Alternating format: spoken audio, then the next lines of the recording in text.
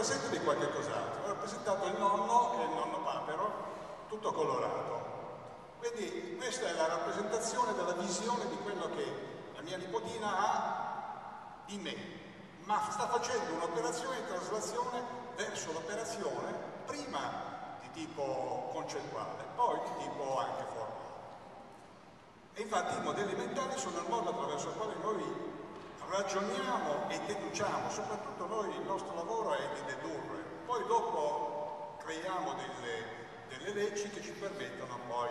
di reinterpretare il mondo che ci circonda. Le nostre leggi sono molto ma molto deboli rispetto alla realtà, tant'è vero che quando noi modellizziamo le leggi, queste leggi si devono confrontare con la realtà e dobbiamo cercare di trovare il modo migliore per operare. Per fare questa operazione noi ci avvaliamo di una tecnica che ormai ha una grossa impronta dal punto di vista scientifico, i cosiddetti problemi inversi. Cioè noi vediamo la realtà che, che sta fuori di noi e la confrontiamo con una realtà che sta dentro di noi. E il confronto tra queste due realtà fa sì che ci sia la capacità di riprodurre questa realtà che vediamo all'esterno. Qui vedete c'è un cavaliere che sta cercando di capire se l'immagine che lui vede sul terreno è qualcosa che lui conosce, che tipo di drago può, eh, può eh, eh rappresentare. Ebbene, questo è il modo che, con il quale noi rappresentiamo la realtà, perché ogni volta che noi rappresentiamo e vediamo come operare sulla realtà, facciamo un'operazione di estrapolazione eh, concettuale che ci permette di fare un'operazione di eh, eh, approccio alla realtà stessa. Ma eh, non è detto che sia la realtà, tant'è vero che ci sono dei problemi grossissimi nel momento stesso in cui trattiamo i, così,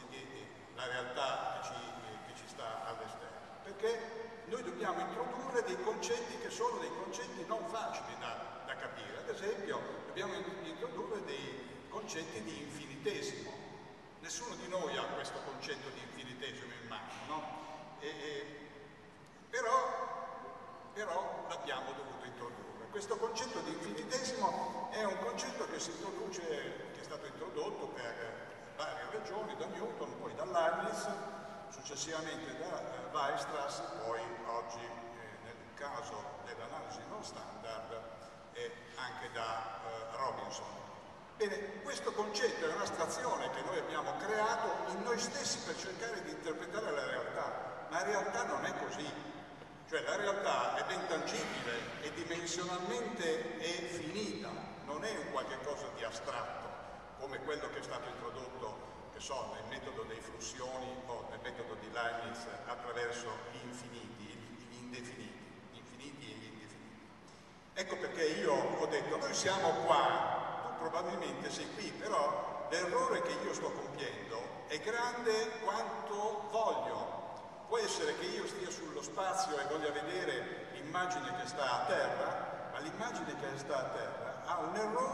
che io non posso eh, definire. E questo errore è quello che mi porto dietro. E nel momento stesso in cui trasferisco la mia informazione al mio sistema, il mio sistema complessivamente mantiene dentro questo errore, se questo errore è troppo grande io sbaglio. E quindi, ad esempio, è ben noto che con un GPS io posso fare una misurazione dell'ordine di 30-40 cm, ma in certe condizioni posso anche non fare nessuna misurazione perché l'errore è troppo grande. Anzi, tante volte questi GPS per uso eh, diciamo, di altra natura che non sono eh, prettamente civili, ad esempio militari, vengono degradati e diventano dei, degli strumenti che non hanno la capacità di leggere il territorio come quindi questo concetto di errore che noi ci portiamo dietro è un concetto che pervade tutta la nostra società. Tant'è vero che il modo di rappresentare la realtà è sempre fatto in funzione dell'esperienza e mai fatto funzione di un metodo matematico rigoroso, perché abbiamo dei problemi a rappresentare rigorosamente la matematica che faccia l'inversione. Tanto per darvi un'idea, se io utilizzo dei numeri non primi fra di loro e vado a vedere qual è il loro prodotto quando faccio l'inversione, questi numeri primi possono essere non primi, possono essere scomposti dai numeri primi, i quali a loro volta producono un errore. E, questo, e questa è un'operazione che ogni giorno facciamo noi, ma che di fatto, di fatto viene eh, poi eh, formalizzata in, attraverso un metodo che noi chiamiamo il metodo dei, dei menti quadrati, cioè cerchiamo di minimizzare l'errore per cercare di arrivare effettivamente